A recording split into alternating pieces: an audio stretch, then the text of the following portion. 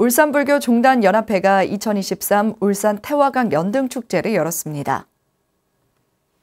울산불교 종단연합회는 지난 14일까지 3일 동안 울산 태화강 둔치에서 봉축법회식과 인기가수 초청 특별 공연을 비롯해 대형 장엄 등 전시, 부처님 이윤 행렬, 땅설법, 바로공양 체험과 부처님 찬탄 개송대회 등으로 부처님 오신 날을 축하했습니다.